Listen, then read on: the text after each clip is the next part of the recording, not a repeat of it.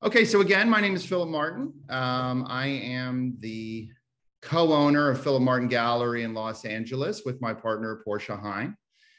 I am very happy to work with uh, the Brathwaite family and very happy to talk today with Kwame Samori Brathwaite, who is the director of the Brathwaite Archive and the son of renowned photographer Kwame Brathwaite. Um, how are you doing today, Kwame? I'm fantastic. Good to talk to you, Philip. Thanks yeah. For, uh, taking the time. Good. So we have a lot of different things to talk about today. I mean, we are launching a new group of newly released images, many of which have never been seen, um, focusing on a range of themes. Do you want to talk to us a little bit about the show, which is entitled My Village, New York? Yeah. Um, thanks again. Thanks everyone for joining. It's really amazing to be able to go through this work uh, that my father's producing. Um, and, you know, we're still focused on somewhat early in his career, mm-hmm. uh, like late 60s, 70s. And my village was a kind of, um, you know, adopting from the African proverb, proverb, takes a village to raise a child. And I think, you know, what was really, uh, really what's kind of got this whole thing going was seeing some of these images of my sister, um, yeah. who's on screen now, Ndola, mm-hmm. um, rocking her trees uh, hairdo. uh, you know, from a, from photo shoots that my father would do with her, and he he did a lot, especially with my sister, uh, uh-huh. when she was younger. And here she's about, I think, five or six. Um, and you know, it's in front of this really amazing mural. And I and when we saw the image, Robin and I, um, we were going through the image of Robin's my wife, obviously, who works with me in the archive. Um, we were just like, this is really beautiful, but it, it also kind of changes the perspective a bit because mostly we've been focused on my father and his, um, you know, his presentation of mostly adults and, and you know, adult life. And mm-hmm. I think this definitely jumps into a different aspect of his photography and something I touched upon in you know the recent article I wrote for Nat Geo, but just as you know his perspective, the child's gaze, you know how they're observing and watching us, but also um, you know the perspective that they have on the world and how we influence that, but also his care in, in photographing them and capturing their humanity as a father. You know now as a father yeah. doing his work, and so I think it changes how his he uses his lens same care, but I think the perspective is a little bit different. Yeah. So we're going to look at a number of images here today. And I think that one of the things that has always struck me about your father's work is the, the feeling that we know from feminism, of course, of the personal is political. And your father has always done an amazing job and an amazing ability, has an amazing ability to show that we look at members of our society and images as images. Um, we also look at them as people and the ability to participate in representation, to represent yourself, to, of course, create beautiful images in which you love yourself for who you are, which is a central message of Black is Beautiful. But, but to know that we're really looking at people is, an, is a continual theme in your father's work. And I think it's really interesting that in this image here, which maybe we spend just a little bit more of time of, here he is 10 years later from sort of uh, some of the amazing events that occur in the early 60s with the Grandassa models and the success of the Naturally show, which is so mob that it becomes this huge event, the starting of AJASS, the starting of a lot of things it's interesting. So it's, it sounds like you're saying that if he did a lot of work with Ndola, you know, that, that it, his own life also became a kind of diary or, or he found feeling there, which makes me wonder, you know, if you could tell us just a little bit more about the location and, and, and maybe also what it was like for you growing up, because it sounds like there were a lot of um, enriching activities.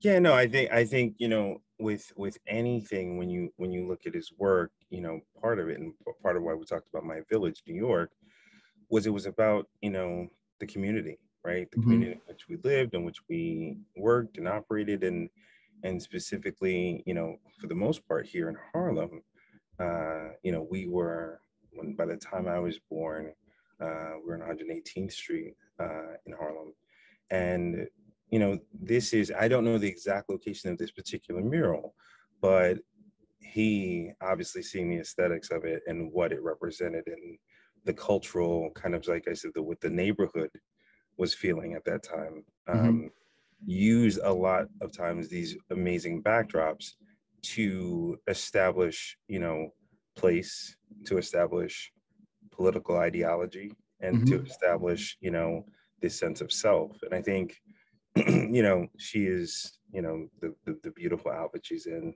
uh, I'm sure was, you know, something that was created by either my mother or one of the other Grandassa models. And, and, and, and also, you know, I think you also get to see the environment, right? So there's this beautiful mural. And then interestingly enough, and you know there's there's the the clear bottle that's you know just sitting there which i think is also a part of just the habitat like this is this is what was there right mm-hmm.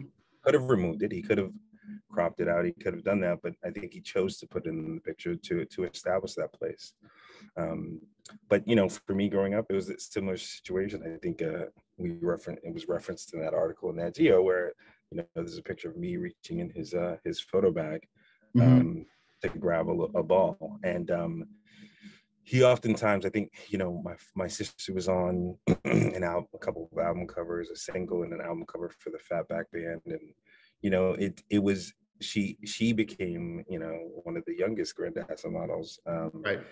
And she was she was part of that movement and that in that um, that ideology, and I think it's really um, for me just it was just a striking image along with the the other that's later on in this group of images um, where she's on a school field trip, right? Mm-hmm. And, you know, oftentimes parents go on school field trips with their with their um with their children but you know my father being the photographer that he is took the opportunity to to find that moment um and interestingly enough again we talk we look at perspectives right? Um she's on a school field trip he's taking her image she's aware of it um, and you have her gaze and and it was just such a striking image for us everyone else is kind of in their element and she's very aware of his presence mm-hmm. and observing what he's doing and, and, and, observing how he interacts with the space this is at lincoln center uh, and then they're stopping at this little you know this little food truck to grab some food but I just think it was really this um, amazing for us. It was really amazing to see this thought, and and it and it made us think about the perspective that she had. Mm-hmm. Uh, and I think I should, you know, it's funny. I I don't.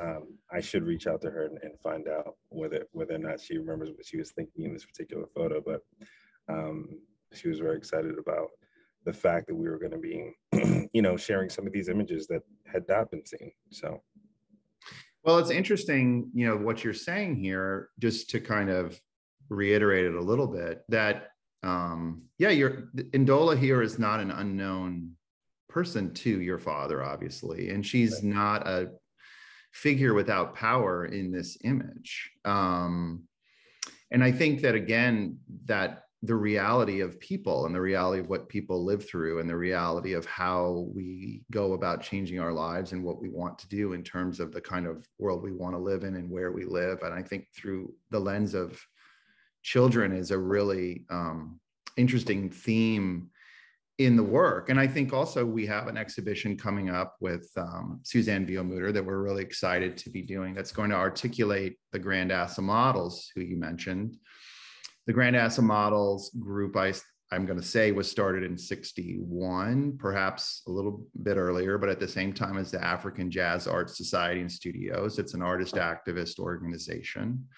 And well, the 62 is actually officially when they when they okay. start. Yeah.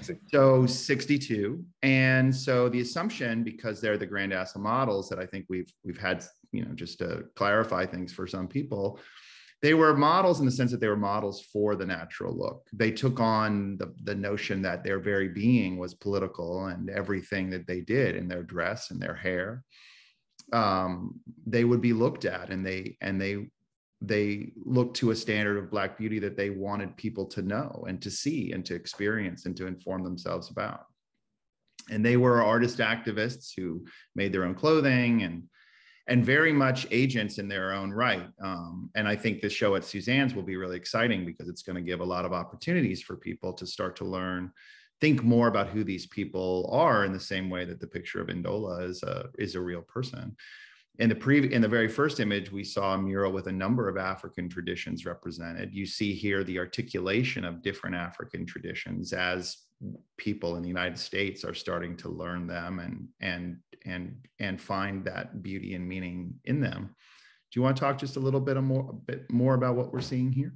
Yeah look again um the beauty of going through this work is the ability to discover images like these. Yeah. Um, this is just one that you know was kind of just breathtakingly beautiful uh, in its in its simplicity. Right, mm-hmm. you have you have the models here, um, and uh, actually we have names of almost everyone. So mm-hmm. we have Deborah Clark in the first row seated. Um, Diane Nolan, Regina, I, I don't know her last name, Diane O'Harris, uh, who actually became a, um, a woman who uh, went to church with us uh, mm-hmm. when I was growing up. Uh, and she was a teacher at, at our church, mm-hmm.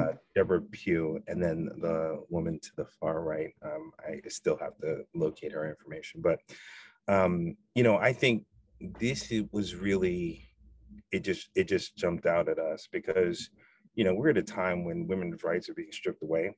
Yeah. Image represents um, kind of a moment in time um, and a desire to do exactly the opposite of that, to give power, to be in power, to have agency, mm-hmm. autonomy of you know being able to wear your hair the way you, way you the way you want to, to make your own decisions. But I also think you know one of the things that I was really just impressed upon me was the gaze again, their stance, their positions.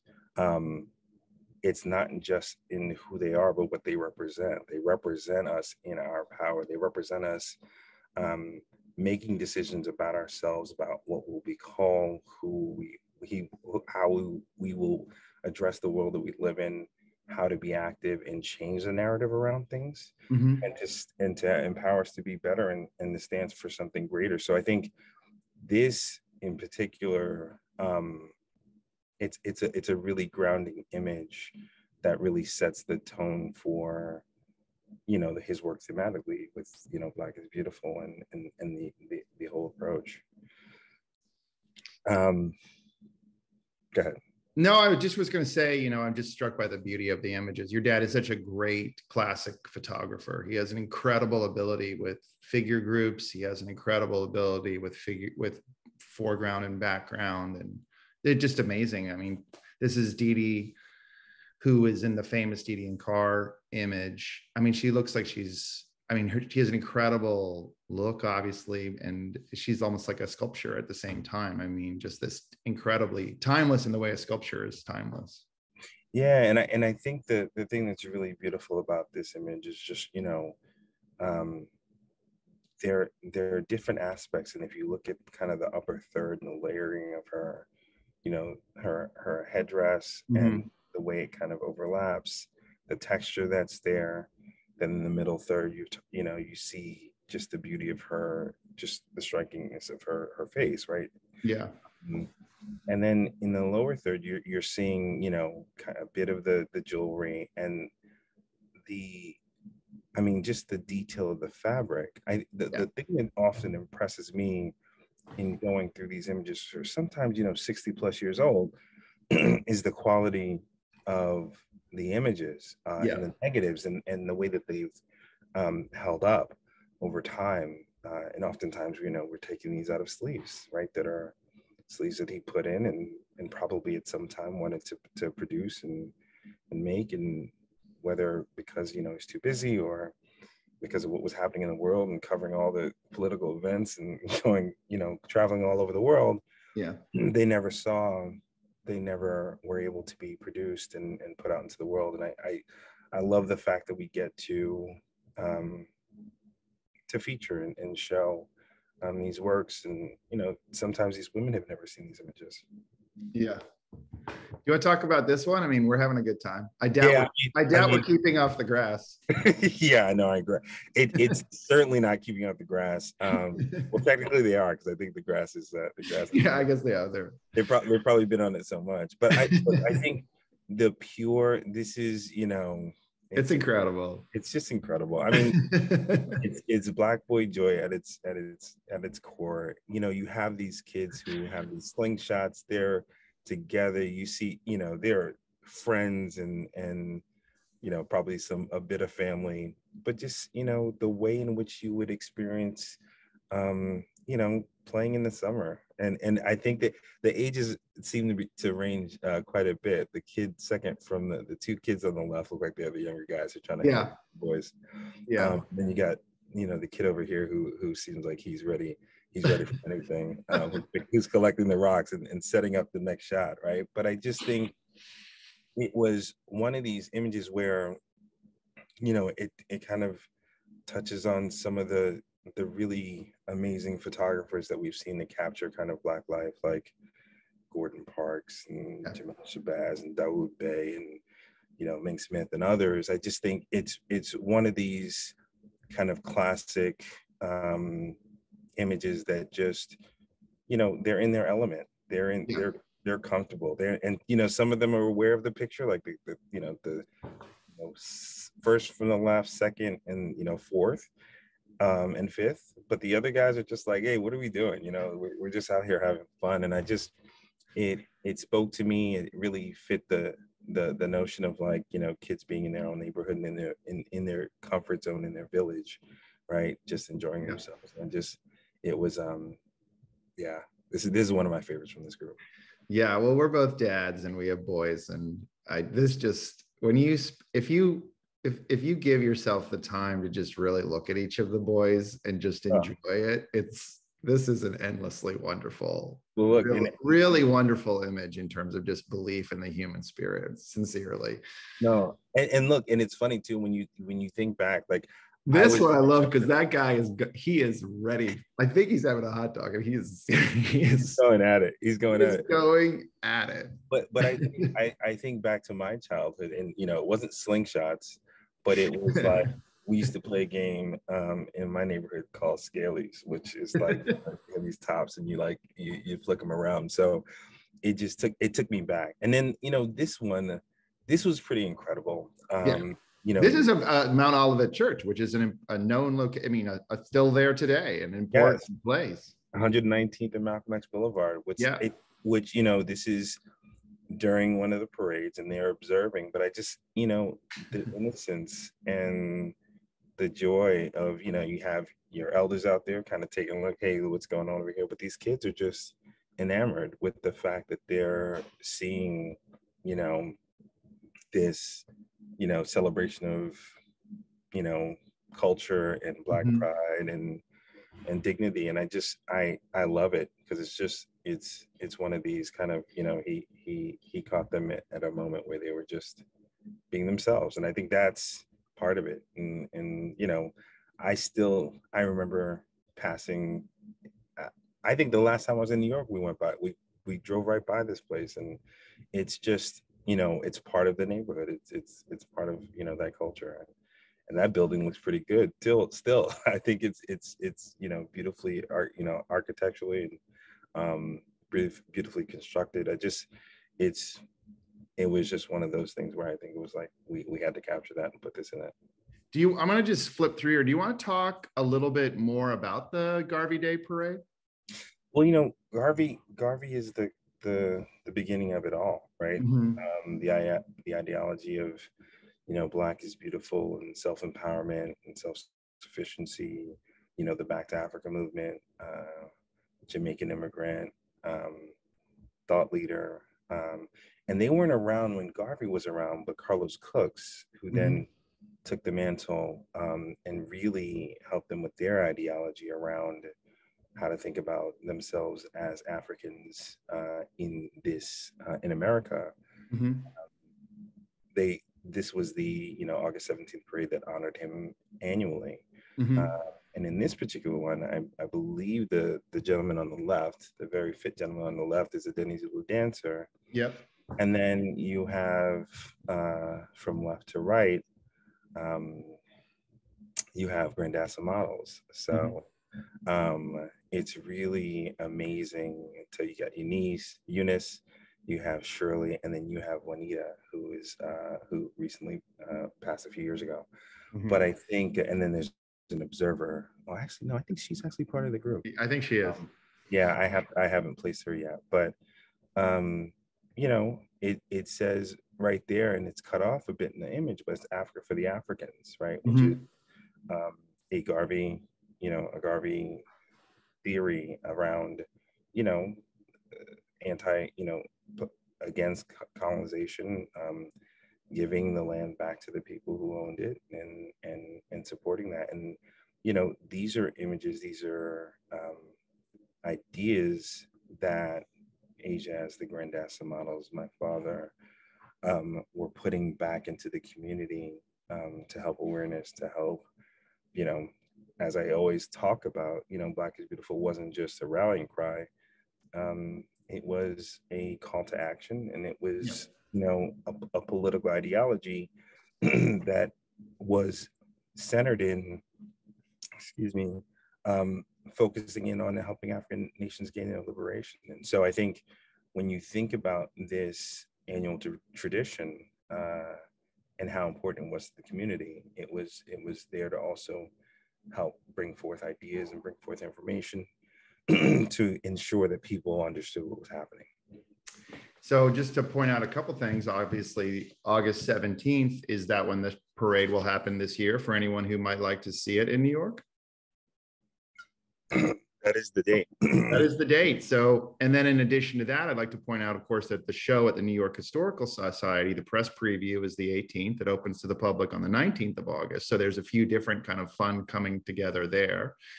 Obviously, Gar- uh, Garvey, for those that um, don't know, but just to kind of add in a little bit, was exiled from the United States when 1930, early 30s.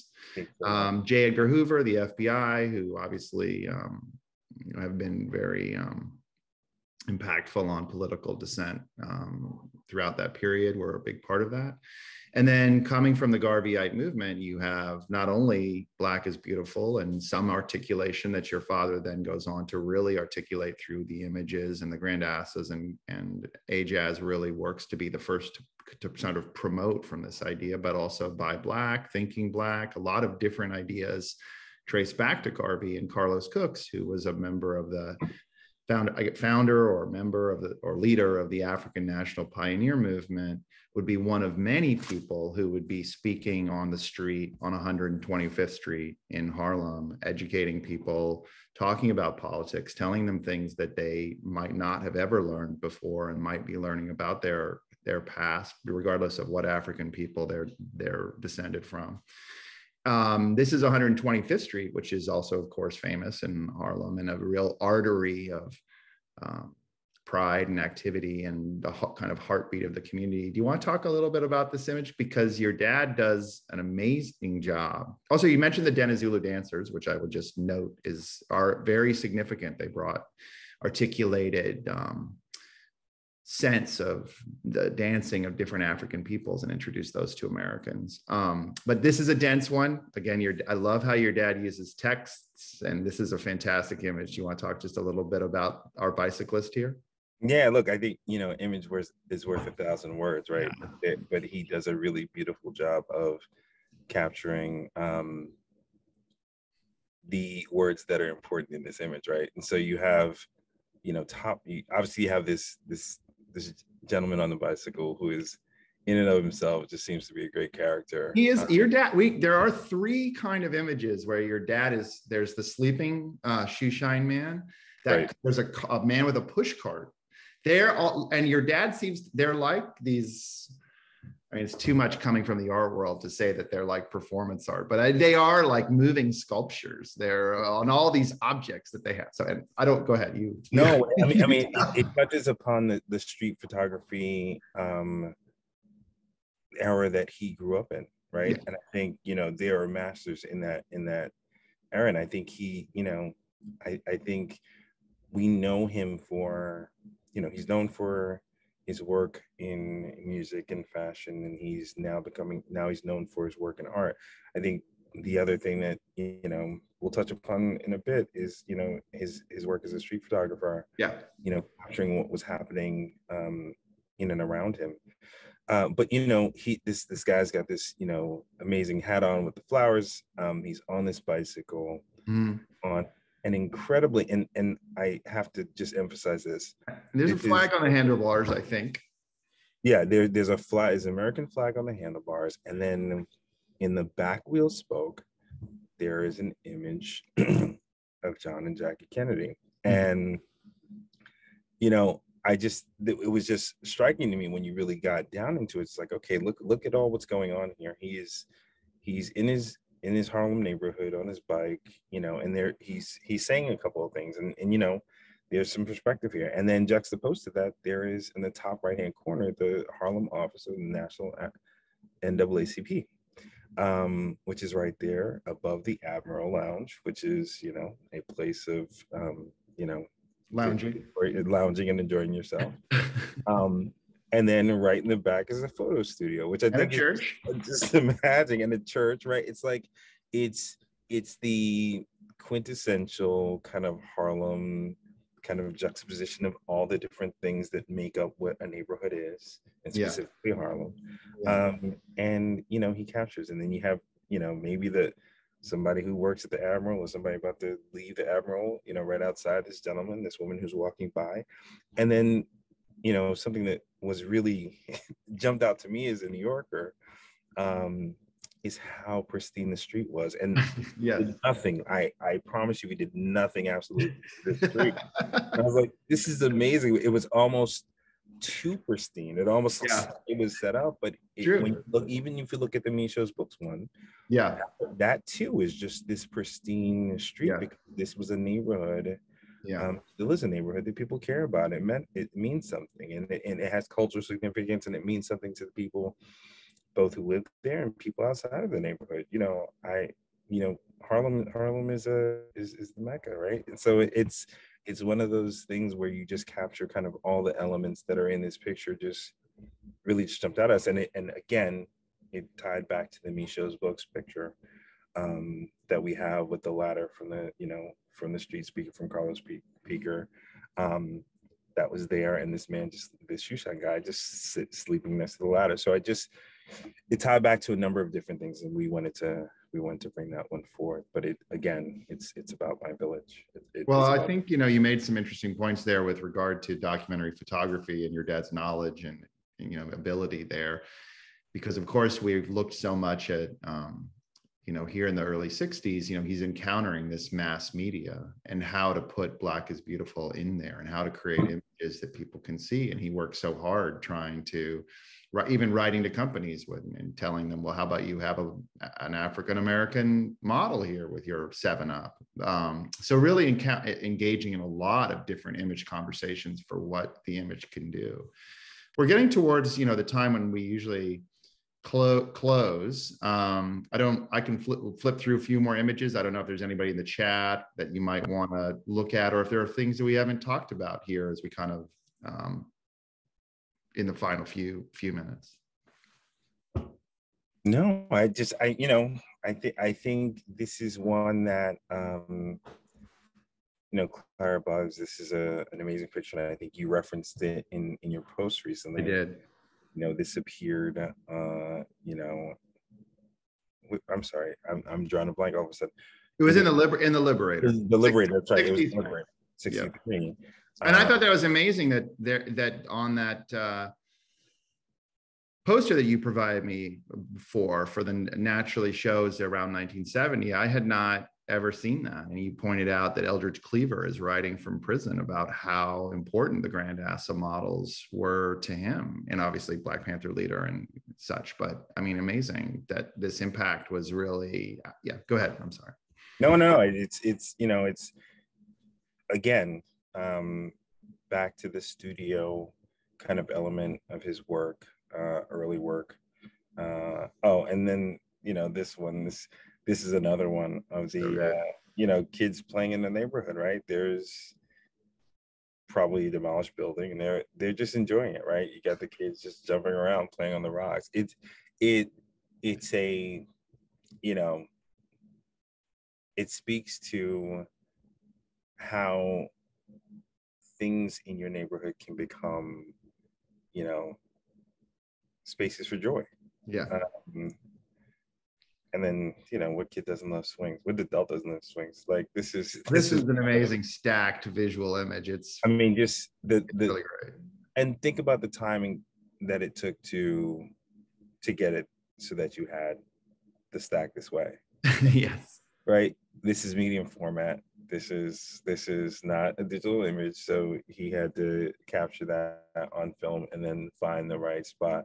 But you know this is movement. This is you know i, I love how sharp they are. I love the joy um that you just get. I mean this is one of those images that makes you smile similar to the boys playing in the uh with the slingshot so. Yeah. Well, um, I think if people take the time, there's a nice statement by Kwame here uh, in the press release that talks a little bit about um, the the village of the neighborhood for children and the safety and security of growing up in your in your neighborhood as a place to express yourself and find find a place and providing that for people that's very moving did you have anything else that you wanted to say or Uh, no, I think um, it's uh, thanks again for the opportunity. Looking forward to um, you know catching we're- up. soon.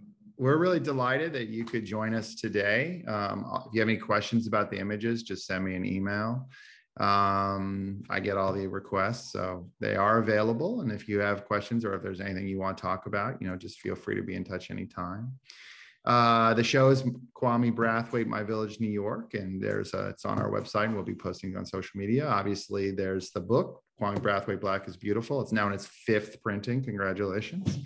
Um, from Aperture, the next stop of the Aperture tour was is the New York Historical Society coming up and we'll be presenting Kwame's work um, at our Basel Miami Beach. There's a major presentation happening with in conjunction with Susanne Vielmetter here in LA. That'll be really interesting with some artists kind of working with uh, material. And there's just a lot of stuff going on. The article in National in National Geographic that Kwame uh, referenced there has some great images, and there's lots of resources for anything that that you might need. So thanks for joining us. Thank you. Thanks so for doing much. this with me, Kwame. Talk to you later. Thank you. All right. Have, Have a good good weekend. Okay. Bye.